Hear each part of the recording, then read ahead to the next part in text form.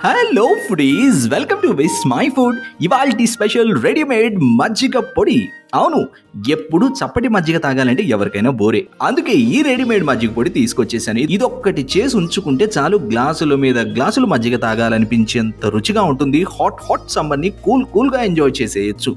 ఈ మజ్జిగ పొడి ఎయిర్ టైట్ డబ్బాలో పెట్టి ఉంచుకుంటే కనీసం రెండు మూడు నెలల పాటు ఎంతో తాజాగా ఉంటుంది. సో రాత్రిళ్ళు పెరుగు మానేసి హాయిగా ఈ మజ్జిగ పొడితో చేసినటువంటి మజ్జిగ ఒక గ్లాస్ తాగి పడుకుంటే పొట్ట తేలిక పడుతుంది ఎంతో హాయిగా అనిపిస్తుంది. Let start. ముందుగా ఎనిమిది గ్రాముల సొంటి. చూడండి ఈ సైజు ఉండాలి.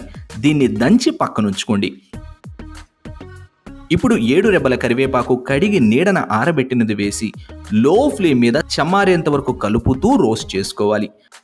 సుమారుగా ఐదారు నిమిషాలకి చెమ్మారిపోయి ఇలా అవుతుంది డ్రైగా. అప్పుడు తీసి పక్కనుంచుకోండి.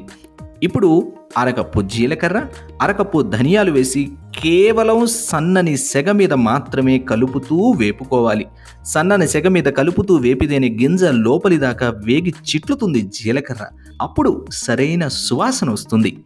సుమారుగా ఈ కొలతకి నాలుగు నిమిషాలు వేపేపాటికి ఆల్మోస్ట్ ఆల్ వేగిపోయింది. అప్పుడు ఇందులో ఒకటిన్నర టేబుల్ స్పూన్ల మిరియాలు అంటే ఏడున్నర గ్రాములు అవుతుంది.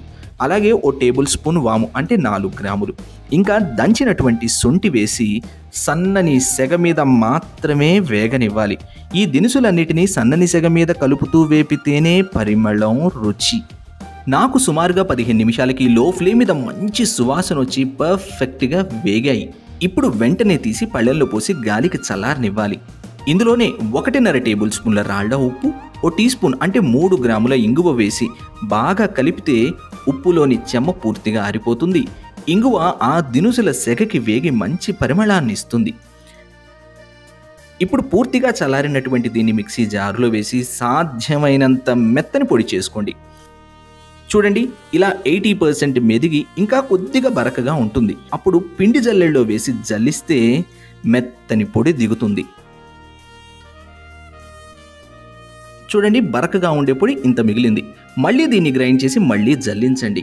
పిండి బరకగా ఉంటే మజ్జిగలో కలిపాక అడుగు చేరిపోతుంది. మజ్జిగ తాగేశాక పొడంతా ఆఖరినే ఉండిపోతుంది. అందుకే మెత్తగా జల్లించుకోవాలి.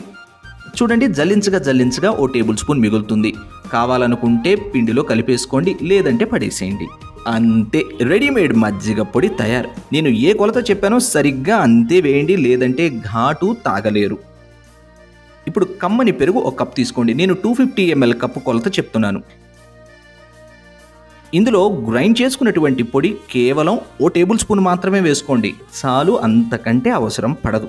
ముందు పెరుగుని బాగా చిలకండి. తరువాత కప్పుకి మూడు కప్పుల నీళ్ళు పోసి బాగా చిలకండి. ఇది శరీరానికి చలువ చేసేటువంటి పలుచని మజ్జిగ కొలత.